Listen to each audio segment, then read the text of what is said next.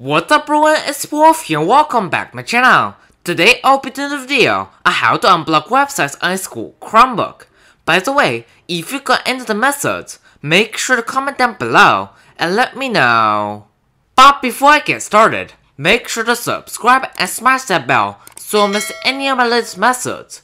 Also, check out my Discord server and r slash scpwolf if you need help. Link is in the description below.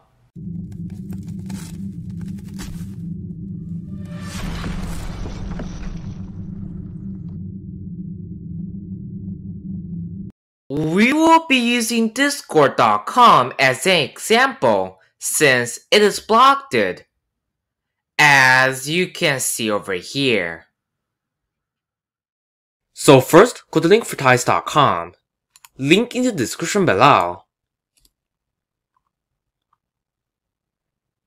And scroll down and find free access.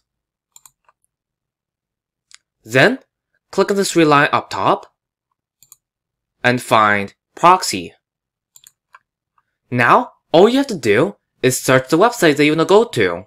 For example, if you want to go to discord.com, all you have to do is search Discord.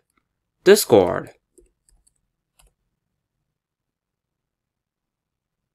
It should be the first one. Discord, your place to hang out. Click on it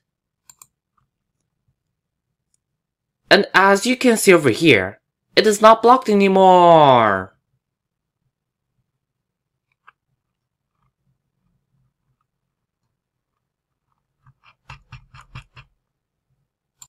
Thank you for watching. I hope that this video is helpful.